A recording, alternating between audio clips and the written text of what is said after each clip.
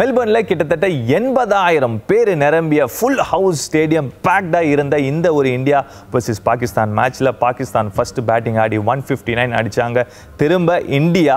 கடைசி பந்தில் சேஸ் பண்ணாங்க. பட் அந்த இன்னிங்ஸில் பார்த்தீங்கன்னா இந்தியா பேட்டிங் ஆடும்போது விராட் கோலி அவரோட பெஸ்ட் இன்னிங்ஸ் பெஸ்ட் எவர்னு சொல்லலாம். எயிட்டி டூ அடித்தார் அந்த ஒரு ஹாரிஸ் ராஃப் அடித்த அந்த ஒரு சிக்ஸ் இன்னும் நம்ம கண்ணில் நிற்கிது and towards the end Ashwin அவரோட அந்த பிரில்லியன்ஸ் அந்த ஒரு வெல் லெஃப்ட் விட்டார் அது எல்லாருக்குமே கண்டிப்பாக ஞாபகம் இருக்கும் அண்ட் டுவர்ட்ஸ் தென் அந்த மிட் ஆஃப் மேலே அடித்த அந்த winning shot one of the greatest closest finishes for India